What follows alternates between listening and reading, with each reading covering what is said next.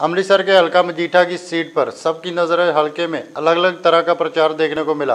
विक्रम मजीठिया के हक में प्रचार करने के लिए होशियारपुर से दो व्यक्ति आए, जिसमें यूथ अकाली दल के नेता बलराज सिंह ने मजीठिया के हक में प्रचार करने के लिए साइकिल से निकले। उन्होंने कहा कि हल्का मजीठा में मजीठिया की प्रसिद्धि देकर वोट डालें।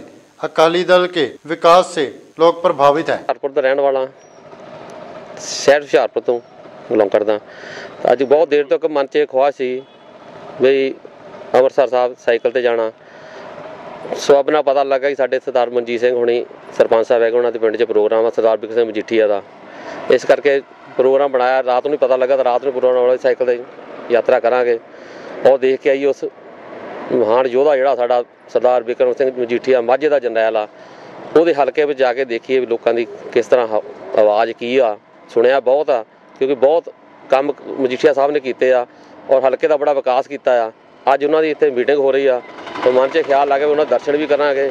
ਤਾਂ ਉਹਨਾਂ ਦੇ ਬਾਰੇ ਆਪਣੇ ਵਿਚਾਰ ਵੀ ਦੱਸਾਂਗੇ ਲੋਕਾਂ ਨੂੰ ਵੀ ਸਾਡੀ ਪਾਰਟੀ ਬਾਰੇ ਕੀ N R I wing Shiromani Akali ਦਾ ਜਿਹੜਾ ਹੈਗਾ ਆ ਯੂਕੇ ਦਾ, ਉਹਦਾ ਕੋਆਰਡੀਨੇਟਰ ਆ। ਔਰ ਕੋਰ ਕਮੇਟੀ ਦਾ ਮੈਂਬਰ ਆ ਯੂਥ ਅਕਾਲੀ ਦਲ ਦੀ ਜਿਹੜੀ ਪੰਜਾਬ ਦੀ ਆ। ਕਾਫੀ ਸਮਾਂ ਤੋਂ ਸਾਈਕਲਿੰਗ ਕਰਦਾ ਆ। ਕਾਫੀ ਸਾਲ ਹੋ ਗਏ ਆ।